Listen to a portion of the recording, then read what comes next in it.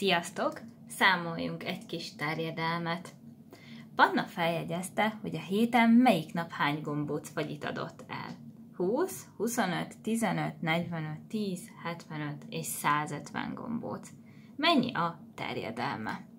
Ugye a terjedelem az a legkisebb és a legnagyobb adat közti különbség. Tehát megkeresem, hogy a legnagyobb adatunk az a 150, a legkisebb adatunk pedig a 10. És a terjedelmet úgy tudjuk ugye kiszámolni, hogy a legnagyobból kivonjuk a legkisebbet. Tehát 150-ből 10 az 140, és akkor meg is kaptuk, hogy a terjedelme az 140.